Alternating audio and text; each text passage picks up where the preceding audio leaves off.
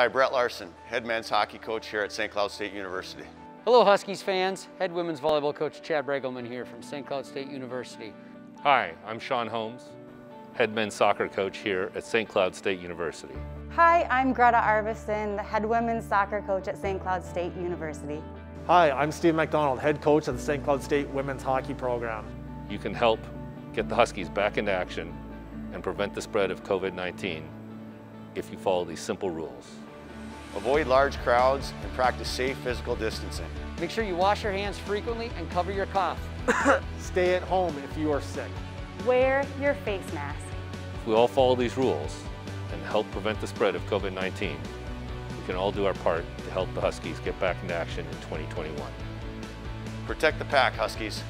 Protect the pack, Huskies. Woo! Protect the pack, Huskies. And remember, the strength of the pack is the Husky, and the strength of the Husky is the pack. Protect us all.